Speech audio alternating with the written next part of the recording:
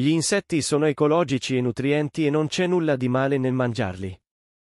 Le norme per la commercializzazione di questi cibi sono molto severe. Il regolamento per chi vuole vendere cibo della categoria novel food prevede un processo di approvazione lungo ben tre anni e mezzo, più una montagna di documentazione da fornire.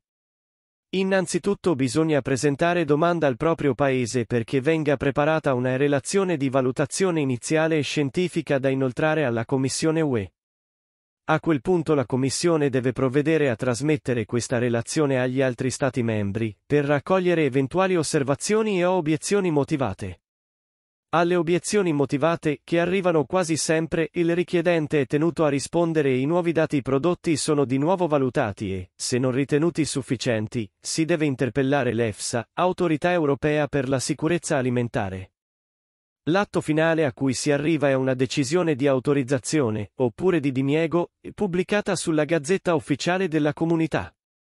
La procedura attualmente in vigore non fa distinzione tra i prodotti effettivamente innovativi e quelli che, invece, hanno già una storia di consumo sicuro nel paese non europeo di provenienza, e inoltre, prevede un'autorizzazione nominativa, destinata al solo soggetto richiedente. Per commercializzare un prodotto già autorizzato, un eventuale secondo richiedente deve avviare una nuova procedura, ricominciando tutto da capo. Insomma, un gran caos.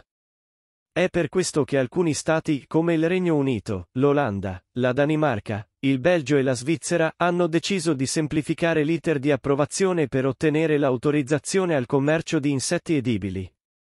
In altri paesi, tipo l'Italia, non si è fatto nulla, però è comunque concessa la vendita di prodotti che hanno ottenuto l'autorizzazione secondo il regolamento sopracitato.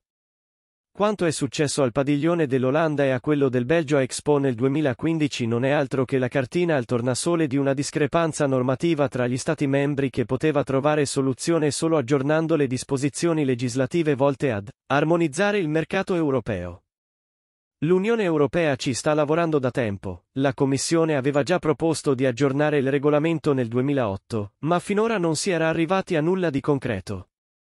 Le cose però ora stanno per cambiare, scatterà infatti dal 2018 il nuovo regolamento 2015-2283 UE, volto a conciliare le normative europee e a snellire e semplificare il processo di approvazione dei novel food, così da assicurare un elevato livello di sicurezza alimentare. Tutto si appiana, viene affidata direttamente all'EFSA la valutazione per la sicurezza e si introduce una procedura più snella per l'autorizzazione di prodotti con una storia di consumo sicuro nel paese di provenienza. La cucina italiana è a rischio. Da quello che riportano numerose testate e da quanto dichiarano alcuni politici anti-europeisti, sembrerebbe che l'UE voglia costringerci a consumare alimenti a base di insetti e che questo possa mettere a repentaglio il Made in Italy nonché la sicurezza dei nostri concittadini. Questo è impossibile, per due motivi. Il primo è quella sorta di tabù culturale di cui abbiamo parlato all'inizio, nessuno in Italia, almeno per il momento, farà a gara per mangiare ragni e scarafaggi. Il secondo motivo che dovrebbe tranquillizzare un po' tutti è che è l'Unione Europea stessa a tutelare il Made in Italy e quindi le nostre tradizioni. L'UE ha infatti istituito dei marchi DOP, IGP, STG, e che proteggono giuridicamente quegli alimenti la cui qualità dipende essenzialmente o esclusivamente dal territorio in cui sono stati prodotti.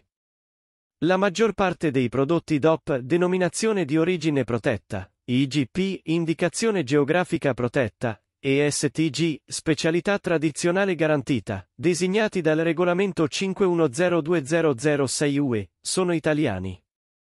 Queste sigle garantiscono provenienza e qualità dei prodotti, metodo di produzione e materie prime utilizzate, e possono tutelare non solo il consumatore nelle sue scelte, ma anche il prodotto produttore stesso dai cibi copia, sicuramente in maniera molto più efficace dei post allarmisti su Facebook e degli articoli di giornale pressapochisti. La Corte europea, inoltre, esige che l'etichettatura del cibo non traga il consumatore in errore, tutelando ancora di più il Made in Italy dall'Italian Sounding Food, che in Canada e in USA fattura più del doppio del nostro export. Sarà possibile vietare la vendita di insetti edibili in Italia? Secondo un'indagine col DirectX la maggior parte degli italiani sarebbe contraria all'introduzione degli insetti edibili. Alcuni politici hanno deciso di mobilitarsi attivamente, hanno deposto delle mozioni per vietarne la vendita nel nostro paese o in alcune specifiche regioni, come Matteo Rancan, consigliere regionale dell'Emilia-Romagna. Sarà tutto inutile, visto che il fine del regolamento, come spesso accade con quelli stilati dall'Unione, è armonizzare il mercato europeo, stesse regole e stessi benefici per tutti gli Stati membri. A questo punto sorge il dubbio che i politici che propongono il divieto in realtà il regolamento non l'abbiano nemmeno letto. In ogni caso ogni nuovo prodotto entrato sul mercato sarà sempre venduto, a meno che non venga specificamente bloccato. Uno Stato membro potrebbe decidere di proporre la sospensione della vendita di un prodotto alimentare se dovesse ritenerlo pericoloso per la salute del consumatore.